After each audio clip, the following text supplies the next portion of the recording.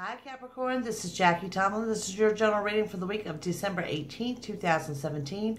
Thank you guys for stopping by. If you're seeking a psychic reading, you'll find a link to that below this video, as well as a few, uh, new text service that is free to you on specials on readings. And if you visit my website, you will notice that I have a couple openings for the weekly forecast. Capricorn, you guys are really under retro this week. You're really going to start to feel the effects of that uh, emotions, emotions, emotions are everywhere for you guys this week. So know that as you approach the week. Um, there is new money standing for standing there waiting for you.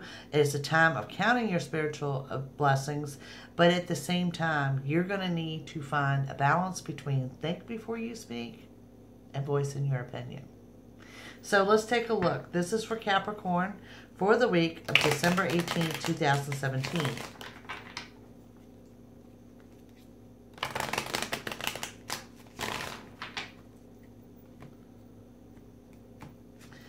Capricorn, we start with the Six of Swords, followed by the major arcana of the Sun, followed by the Magician, the Emperor,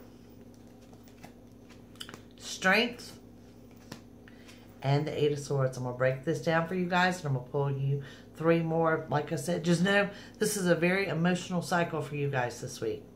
Starting with the Six of Swords, you are leaving the troubled waters. You are moving into the calm waters.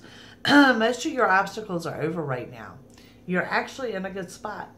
We see that with the sun, the sun shining brightly on everything that you do, followed by the magician. Now, for those of you not familiar with the tarot, the magician is the number one card in the deck.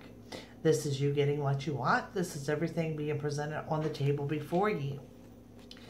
now, moving forward, we have the Emperor. Now, with this being a general reading, I cannot tell you if this is a male or a female.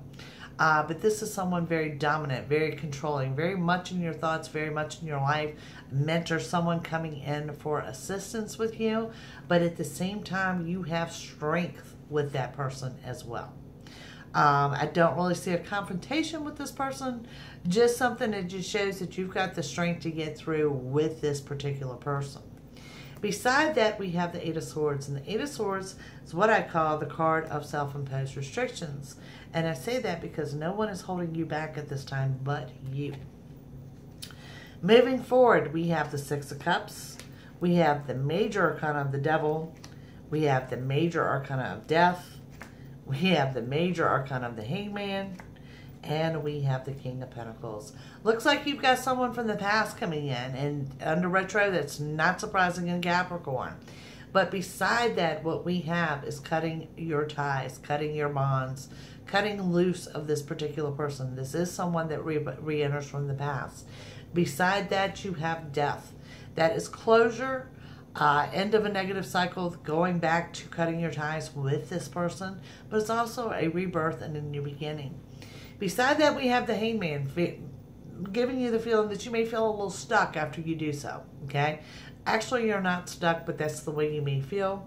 And then we have the King of Pentacles, where I go back to good business deals, everything well in the financial front of things. So a lot going on for Capricorn. First of all, the sun shines brightly, the magician showing you get what you want. Then we had this particular person with strength to go with it. This is probably the person from the past that you're going to cut your ties with, creating a new beginning, and you may be feeling a little bit stuck. I mean, you've got a lot going on here. But overall, the magician overrides your entire reading, showing you do get what you want. So thank you guys for watching. Please take the time to like, share, and subscribe, and I will see you soon. Bye.